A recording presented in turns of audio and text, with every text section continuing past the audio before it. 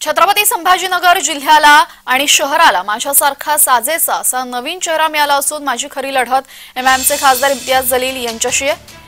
कोणताही विकास न करणाऱ्या इम्तियाज जलील यांना मत म्हणजे हैदराबादच्या गुलामाला मत. त्यामुळे मला मत म्हणजे केंद्र सरकारच्या विकासाला मत. मतदान यंत्रावरील एकविसाव्या नंबरचं टीव्ही रिमोट कंट्रोलचं बटन दाबून प्रचंड मतांनी विजय करा असं आवाहन लोकप्रिय उमेदवार डॉक्टर जीवन राजपूत यांनी मंगळवारी पत्रकार परिषदेत केलंय.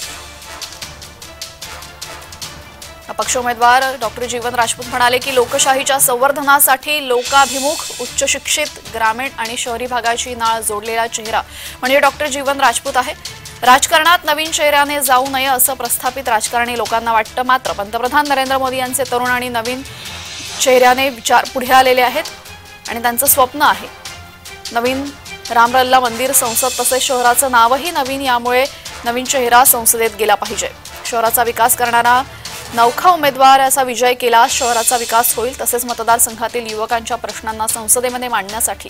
युवकांच्या हक्कांसाठी प्रयत्नशील राहून स्थलांतरित होणाऱ्या युवकांना याच भागामध्ये औद्योगिकरणासाठी चालना आय टी पार्क आदी उभं करणार असून तरुणांना रोजगार उपलब्ध करून देणार असल्याचं सांगत डॉक्टर राजपूत यांनी आश्वासित केलेलं आहे. शहरामधील पायाभूत सुविधांवरती भर देत शहरातील पायाभूत सुविधा कशा निर्माण होतील याच्यासाठी प्रयत्नशील राहणार असल्याचं डॉक्टर राजपूत यांनी सांगितलंय.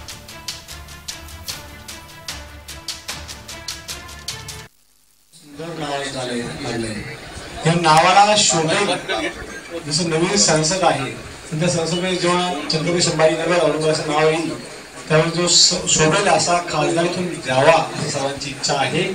आणि त्यामुळे सर्वांच्या इच्छेनुसार ही निवडणूक आपण लढतो आहे यामध्ये उच्च शिक्षित जावा त्यामुळे जो काही विरोधक आहे तो इथे कोणीच आहे सगळे जुनेच लोक असल्यामुळे विकासाची कोणाला धास आहे आणि आपल्याला त्यामुळे जे चिन्ह दिलंय ते सुद्धा विकासाचा रिमोट करून दिलाय. आणि ते नंबर जे आहे आपले एकवीस तारखेचा नंबर आहे. एकवीस आणि एकवीस नंबर आहे. एकविसाव्या शेतकऱ्यांच्या विकासाचा नंबर आहे. आपल्या सर्वांना माझं आव्हान राहील की वेळ खूप कमी आहे. आपण एकमेकाला सांगून पुढील विकासासाठी आपण एकवीस तारखे एकवीस तारखेला एकवीस नंबरवर आपलं रिमोट कंट्रोल दाबून ह्या विकासाची गाडी पुढे घेऊन जावी आणि मोदी साहेबांना बळकट करण्यासाठी मदत करावी.